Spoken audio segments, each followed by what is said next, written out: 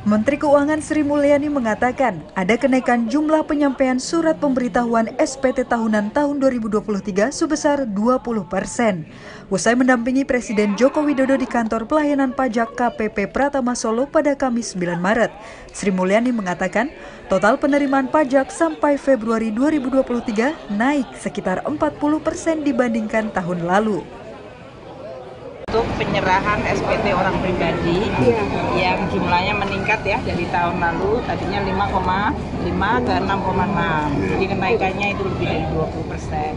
Kita sangat senang tentu bahwa masyarakat uh, melakukan uh, apa pelaksanaan kewajiban undang-undang uh, dan terutama melalui e-filing Pekan depan Menteri Keuangan akan mengadakan jumpa pers mengenai kondisi APBN seluruh penerimaan pajak dan cukai. Dari Solo, Jawa Tengah, Denik Apriani, Kantor Berita Antara, mewartakan.